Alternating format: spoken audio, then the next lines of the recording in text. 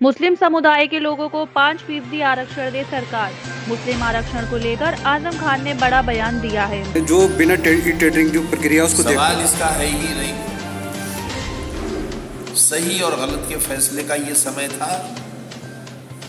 बस। तो ये गठबंधन को देखकर ये घबराहट में ये खेल गेम खेला गया क्या? सिर्फ़ गठबंधन को देखकर नहीं।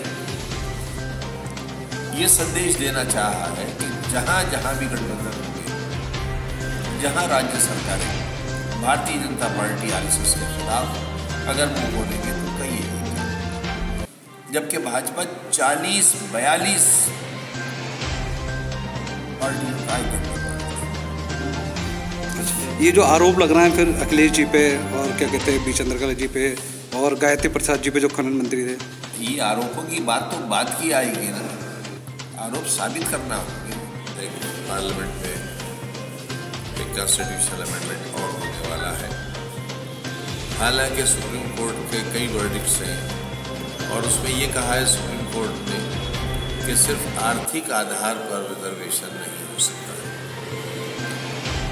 इस मौके पर हमारा ये कहना है, ये मानना भी है कि अगर हमारी बात को हल्के से लिया गया तो जिस तरह मध्य प्रदेश, राजस्थान, महाराष्ट्र, यहाँ लोगों ने सड़कों पर आकर अपना हक मनवाया है। कहीं ऐसा ना हो कि देश की दूसरी बड़ी आबादी, जिन्हें हम मुसलमान कहते हैं।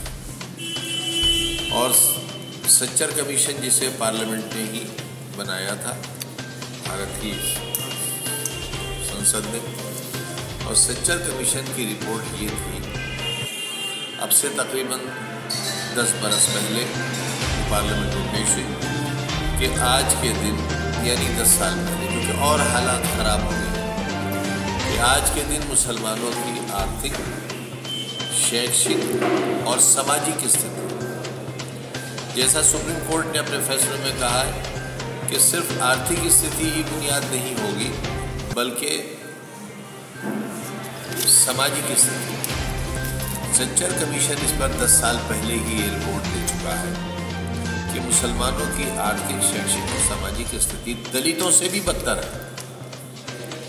इसीलिए हमने मांग की थी कि हमें दलितों की श्रेणी में कर दिया जाए मुसलमानों को, ताकि उन्हें वो सहूलतें मिल जाएँ जो दलितों को मिलती हैं।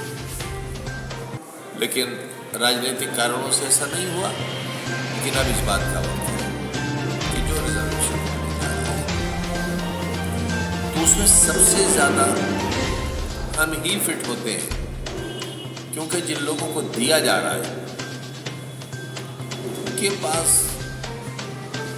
सामाजिक पिछड़ापन नहीं है सिर्फ़ आर्थिक पिछड़ापन है।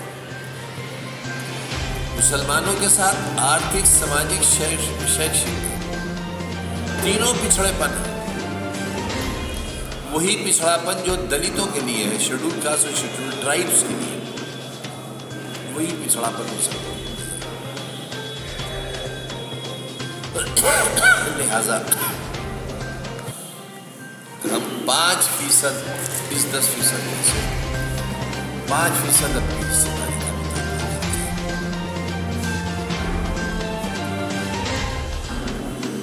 और ये सिर्फ़ आज की सरकार से नहीं कह रहे हैं। आने वाली सरकार से।